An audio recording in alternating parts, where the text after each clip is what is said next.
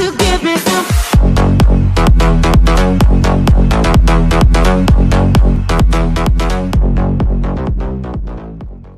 aí galerinha do YouTube, beleza?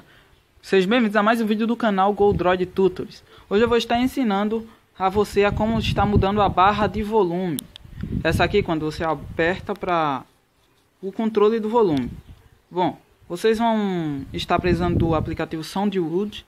Vou estar deixando o link dele na descrição. Aqui, logo ao você abrir ele, vai ter essa a opção de ativar a acessibilidade. Ele só funciona se você ativar.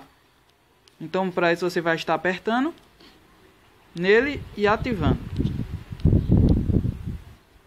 Bom, você vai voltar e ele já vai estar funcionando.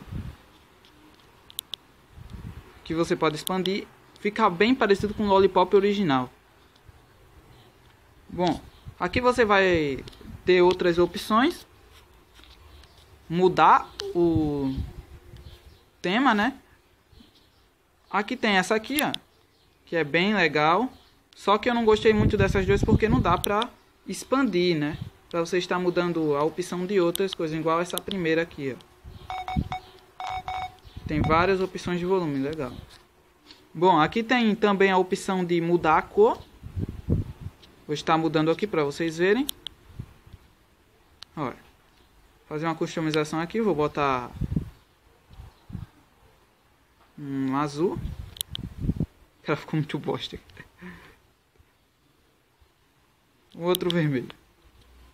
Ó, até, até que fica legal, né? Aqui tem uma outra opção de expandir automaticamente. Tipo, quando você apertar o botão, ele já vai aparecer já expandido, né? Sem você apertar esse botãozinho aqui, ó. Bom, aqui tem um tempo, né? Que ela vai ficar expandindo aqui na tela. Vou botei 3 segundos, né? Que é o tempo que ela des desaparece. Voltando aqui, você vai ter outras opções. Eu vou mostrar só as opções que eu sei aqui do que é. Que essa daqui é tipo pra colocar o, o volume na, na tela de bloqueio. Esse aqui é para você apertar para silenciar.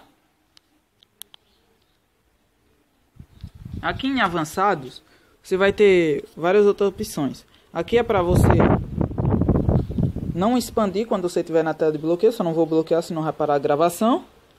Mas quando você estiver na tela de bloqueio, ela não vai expandir. Isso é bem legal, vou deixar desativado. Bom, galera, eu não sei muito sobre o resto do aplicativo. Eu baixei ele há pouco tempo e testei.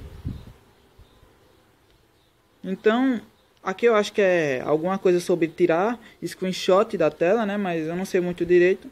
Bom, galera, vocês vão testando aí, né? Galera, se você gostou do vídeo, não esqueçam de se inscrever.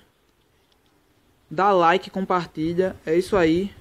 Eu fui, valeu e tchau.